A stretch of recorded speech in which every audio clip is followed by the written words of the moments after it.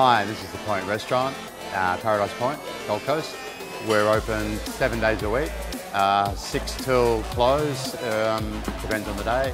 Late Friday, late Saturday. Like I said, breakfast, lunch, dinner, seven days a week.